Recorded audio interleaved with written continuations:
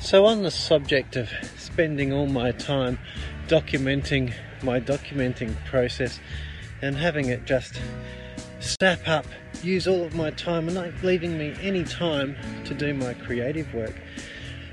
I was editing that video last night, all about that, on that very subject. And because I'm kind of mucking around with some new techniques that were hopefully going to save me some time, I ended up spending all my time just making the video and not spending any time on my next illustration. And I'm pretty depressed this morning, felt really defeated, and as I was also saying yesterday about losing sleep, is that Grumpy and and just you know not very with it. So, yesterday, you must wonder what I'm doing all day. Well, I'm a parent, and there's lots of things to do apart from, you know, keeping the house in check. And also, my daughter had to go to the dentist. I had a couple of lawn mowing jobs that I had to do, and it's winter time, so the days aren't as long. So, before you know it, the day's over, and you haven't even done a sketch or any videoing.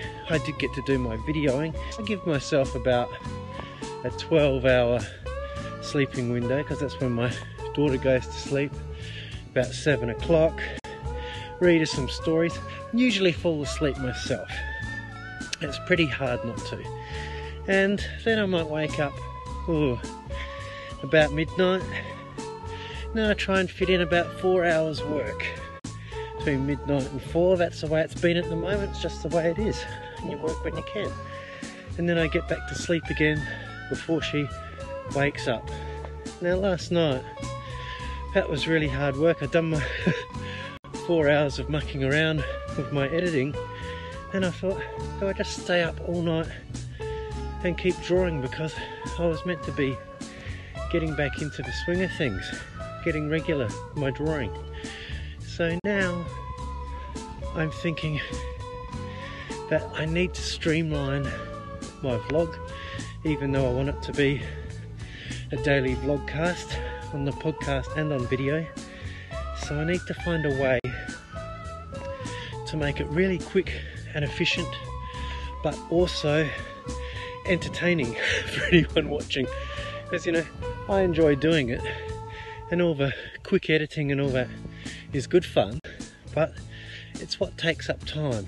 So I'm mucking around with ways that I can do this now. Um, today's clip I'm recording straight into an app called Apple Clips. I'll hopefully be able to export portrait style video for Instagram stories.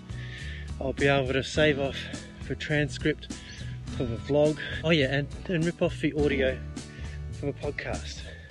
So I'll let you know how all that goes and how much time it actually takes me because I think making the documenting of my process, the daily vlogcast as efficient as humanly possible and to free up those nights so I can actually be doing my drawing and putting together the book rather than mucking around with this will be great to be able to do that. So I want to try and do all my shooting and editing during daylight hours and nighttime when everyone's asleep.